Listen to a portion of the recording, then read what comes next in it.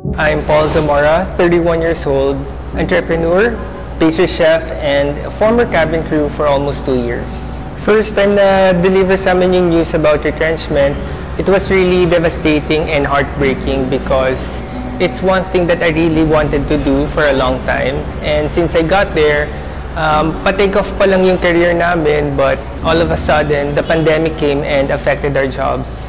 During the first quarter of 2020, when the pandemic happened, I decided to be productive and revive the recipe of my mom, which is Lulu's apple pie.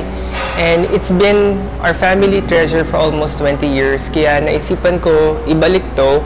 And I believe it's the perfect timing for it to be known, lalo na ngayon everyone is online.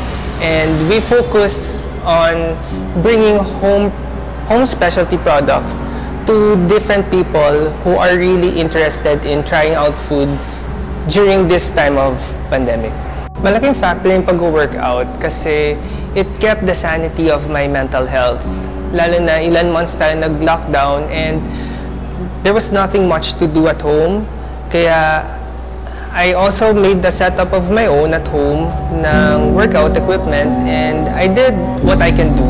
But going to the gym right now, it's really helpful kasi limited ako sa bahay eh. But when I'm in the gym, I can do a lot of workout and with help of the trainers here, may proper guidance and I think that is really beneficial.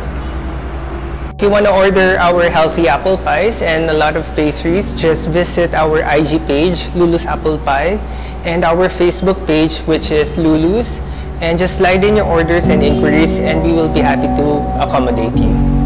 And if you're looking for a safe place to work out, just visit Anytime Fitness Hemadi and look for Coach Archie.